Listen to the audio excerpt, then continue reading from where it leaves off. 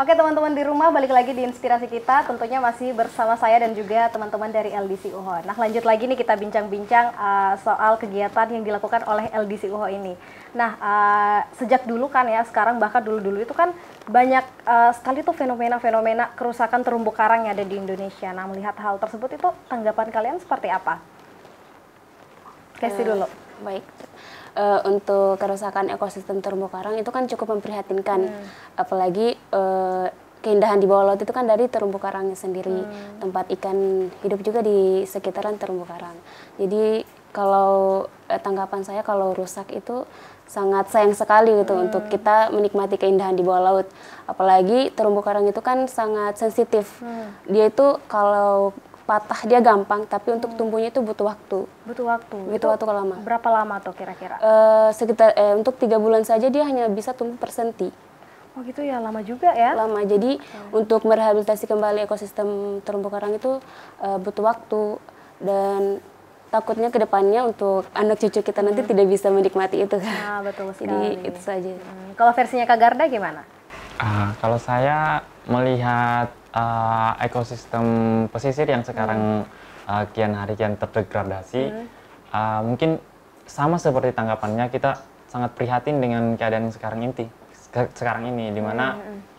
uh, apalagi kita ini uh, Indonesia merupakan negara uh, maritim ya. yang kita punya banyak pulau, kita punya hmm. uh, sumber daya hmm. laut yang hmm. sangat melimpah. Hmm. Uh, tetapi jika tidak dijaga dan tidak dilestarikan, hmm. maka apa yang akan terjadi ke depannya? Uh, sumber daya unggulan kita akan ter akan habis. Hmm. Okay. Apalagi kita sekarang uh, di Sulawesi Tenggara, khususnya hmm. Wakatobi merupakan top 10 destinasi ya. pariwisata yeah. dan keunggulannya itu adalah bawah laut. Hmm, Oke okay, betul sekali. Tapi uh, melihat fenomena yang ada bukan hanya terumbu karang, tapi juga mungkin ikan-ikan uh, yang di laut itu. Hmm. Sebenarnya apa hal yang pertama yang perlu kita lakukan sebagai masyarakat untuk saling menjaga ekosistem laut gitu?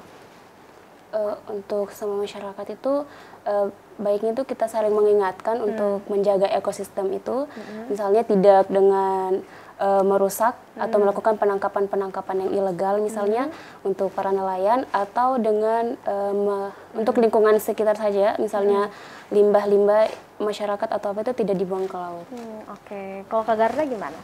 Kalau dari saya seharusnya kita mulai dari kita diri kita sendiri. Hmm. Nah, mulai dari diri kita sendiri bagaimana cara kita untuk uh, melindungi lingkungan lingkungan pesisir maupun uh, lingkungan sekitar kita. Hmm. Jangan membuang sampah hmm. mulai dari diri kita. Ya. Nah, melindungi melindungi semua itu bukan harus uh, mulai dari hal besar, hmm. tapi mulai dari hal, hal, kecil, hal kecil seperti tidak membuang sampah itu sudah membantu untuk mengurangi uh, ekosistem yang terancam punah. Iya. Oke, luar biasa sekali. Nah, kalian juga dengar ya para penonton di belakang layar itu jangan buang sampah sembarangan.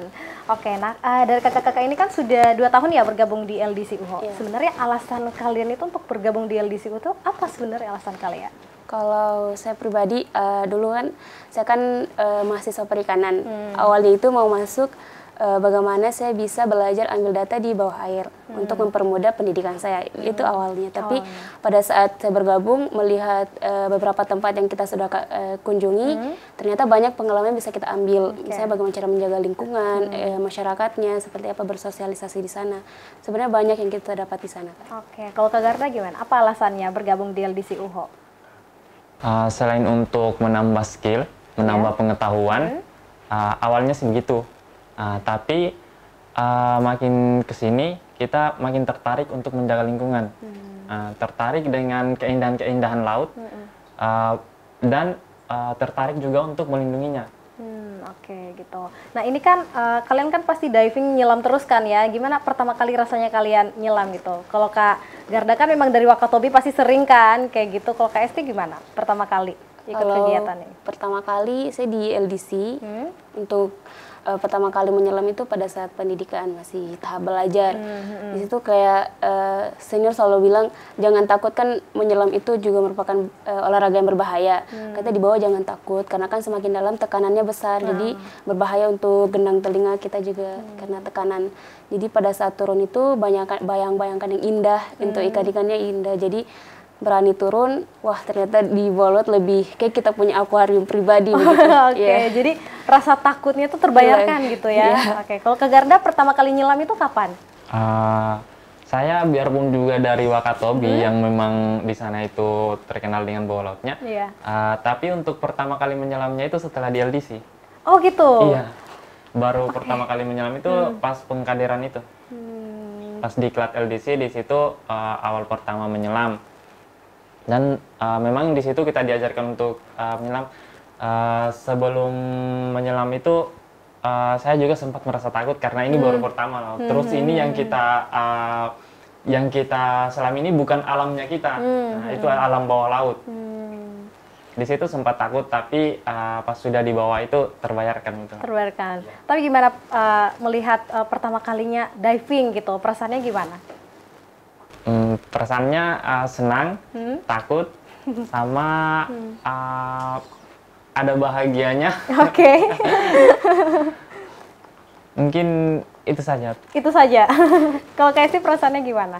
Pertama kali Eh, diving. Pertama kali diving itu kayak wah banget. Hmm. Jadi kayak bisa lihat di bawah itu kayak lebih indah, lebih dekat dengan ikan-ikan. Kalau saya lebih kesenang sih. Senang, oke. Tapi setelah dari misalnya kalian sudah lulus kan, apakah kalian masih akan melanjutkan aktivitas kalian sebagai uh, yang hobi diving, yang suka diving atau kayak gimana? Kalau eh, kalau saya masih ingin Kak, kalau setelah lulus kan kita masih bisa ikut kegiatan-kegiatan LDC karena dia tidak terbatas hanya eh, kalau sebagai pengurus sudah tidak bisa. Sudah tidak bisa, oke. Oke, kalau ke Garda gimana? Kalau saya uh, memang begitu ya. Uh, kalau sudah selesai mungkin sudah lulus dari uh, sudah wisuda atau sudah selesai uh, pendidikan, uh, saya akan tetap uh, berkegiatan untuk menyelam karena uh, yang dulunya itu kita bertujuan untuk menambah skill sekarang jadi hobi. Hmm, oke. Jadi, menyelam itu uh, kayak nikmat kita rasa karena sudah menjadi kebiasaan kita. Terus uh, kalau menyelam keindahannya itu bisa terbayarkan lah lelahnya kita. bisa terbayarkan. Tapi kalau uh, ke Garda saat kembali ke Wakatobi diving juga gitu di sana? Atau hanya di Kendari aja? belum ya? pernah. Aduh, sayang sekali. Kenapa? Uh, kalau di Wakatobi mahal. Jujur. Wow, oh gitu ya.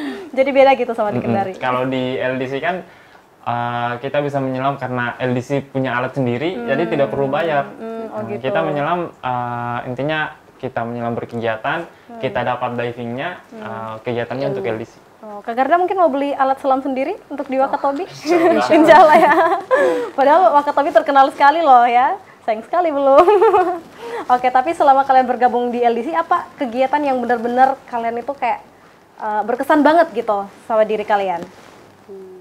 yang paling berkesan gitu. Apa ayo? Kak Garda dulu deh.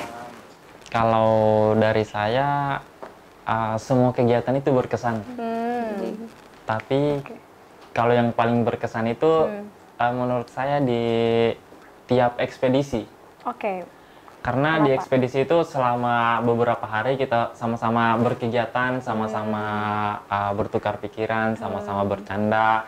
Uh, terus uh, kita uh, dari situ kita belajar belajar banyak hal. Di situ kita dapat kebersamaannya, kekeluargaannya.